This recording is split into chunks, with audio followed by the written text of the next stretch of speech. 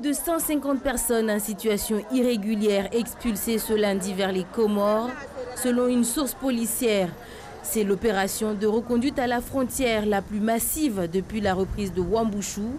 Une dizaine au départ, ils sont maintenant une centaine de personnes éloignées depuis vendredi dernier.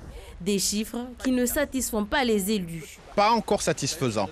Je rappelle quand même que nous avions annoncé 300 reconduites à la frontière. Pour le moment, nous n'avons jamais atteint euh, ce chiffre, alors que c'était un chiffre qui devait être euh, atteint jour après jour. La méthodologie n'est pas satisfaisante, puisque au final, Wambouchou ne fait pas peur. Il y a toujours autant de Kwasa Kwasa qui viennent sur l'île de Mayotte. Non, on n'est pas tout à fait satisfait, mais nous ne euh, lâcherons pas nous demandons à ce que nous appuyons les autorités et nous encourageons à tous ceux qui euh, euh, interviennent pour lutter contre euh, l'insécurité.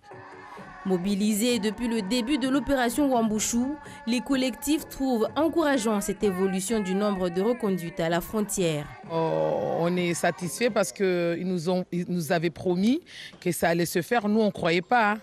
Mais quand chaque, chaque fois qu'il y a un bateau qui, part, on nous dit le nombre qui le fait partir, qui font partir.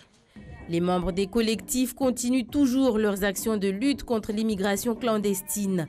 La cible du jour, les vendeuses de colliers de fleurs à l'aéroport Marcel Henry, estimant que ces dernières sont toutes en situation irrégulière.